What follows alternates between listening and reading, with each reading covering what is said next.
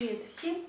Сегодня ходили опять в супермаркет, так как сейчас э, у нас канун Пасхи. Э, закупили кое-какие продукты, чтобы уже не выходить больше. Сегодня у нас воскресенье, это пальмовое воскресенье, как в России вербное, здесь пальмовое. И вот хочу показать, что мы купили. Ну, как бы пред, предпраздничный день. Э, в Италии на Пасху не кушают, как у нас, куличи, а кушают вот такие коломбы. Вот. Видите? Вот такой коломбу. А, коломба, классика. Э, стоит 2,86. Это коп, но мы специально купили такой, потому что мы смотрели, чтобы не было никаких плохих ингредиентов. Здесь все натуральное. Вот мука, сахар, цедра апельсина, сироп, сливочное масло, желтки, э, натуральные дрожжи, миндаль, фундук, молоко. И все сделано вручную. Без трансжиров, без маргарина, без е-е-е. Вот смотрите. Ни одной буквы по сие там нет. Ни одной буквы Е нету. Натуральный. И вот его покрывают такой сахарной глазурью и потом еще миндальные орешки втыкают. Вот это традиционная сладость пасхальная, итальянская. Купили. Сейчас покажу еще поближе. Значит, на Пасху в Италии принято кушать ягненка с зеленым горошком тушеным. Это как традиционное блюдо. Поэтому мы купили плечо ягненка спало ди анело. Спало ди анело. Это стоит э, за килограмм 13,70. И этот кусок у нас, это плечо, 9,86. Э, фунги плеуротус, это наши вешенки. Вешенки 3,67 за 737 грамм. Потом купили корочка, но это мы их заморозим, будем потихоньку иногда кушать.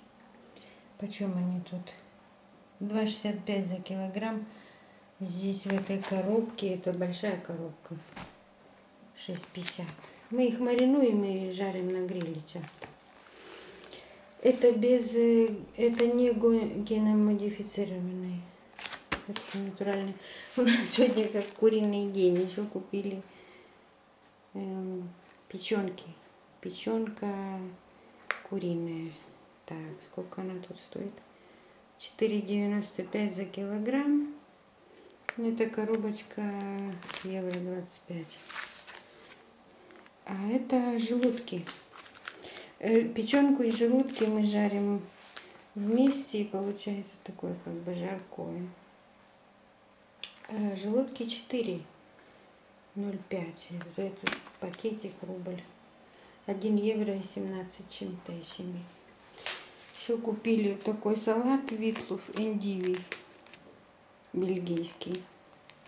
Это цикорий мы тоже с ним разные закусочки делаем разные салатики красивые.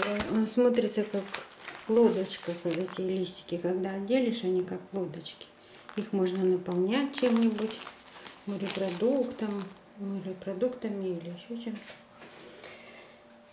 Так, еще купили опять грамм подана, потому что сегодня скидочки были неплохие. Вот этот кусок 8,40. Вот натираем его везде и всюду добавляем.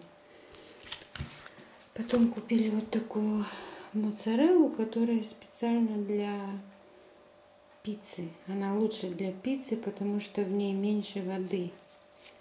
Такая моцарелла Санта-Лучия. Тоже мы моцареллу храним в морозилке.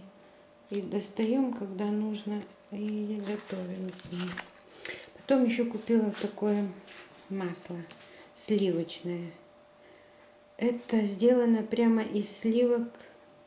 Видите, тут написано «Да панна итальяна ди центрифуга буро». Это очень хорошее сливочное масло, сделано прямо из сливок, без всяких добавок, натуральное. А, здесь еще есть сзади рецепт пасхальные печенье.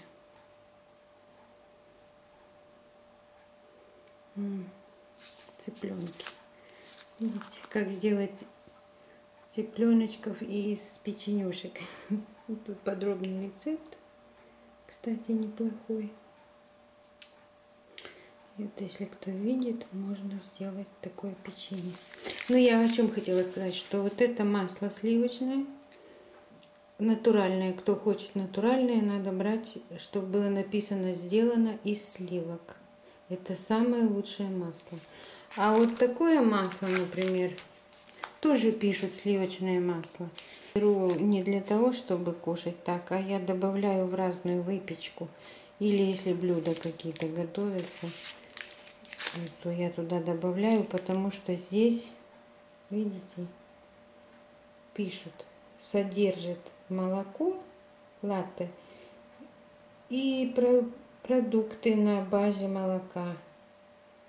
Видите, включая лактозию, лактозию, лактозу.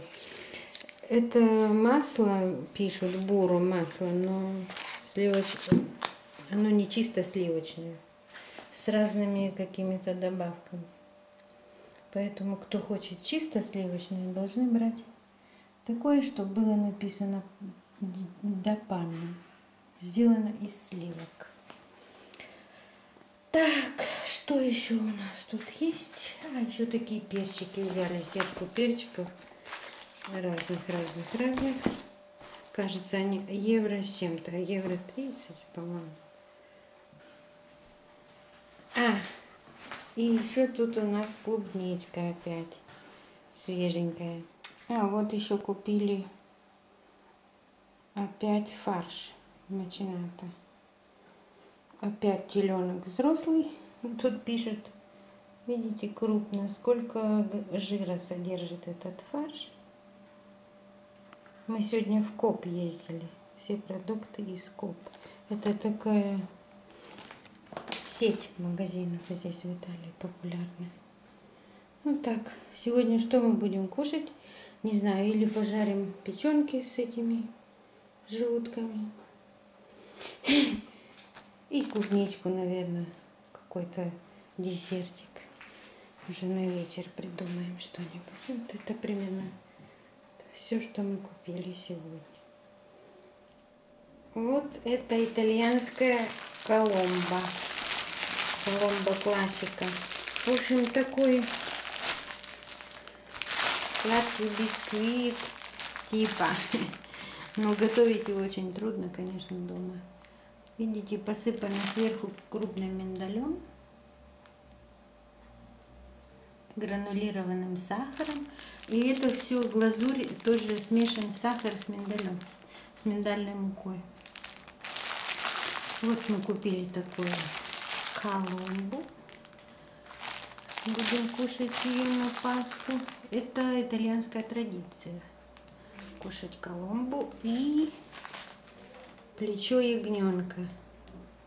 У них принято в Италии здесь, у католиков принято кушать ягненка или запеченного с горькими травами разными пряными или тушеного с зеленым горошком и белым луком и белым вином. Это пасхальное блюдо. Видите, он, оно уже продается нарезанное такими ломтиками, это плечо ягнятину надо обязательно кушать на Пасху. И эту коломбу это традиционные блюда. Еще детям дарят шоколадные яйца. А яйца здесь не красит никто, не это не принято. Так, такие традиции.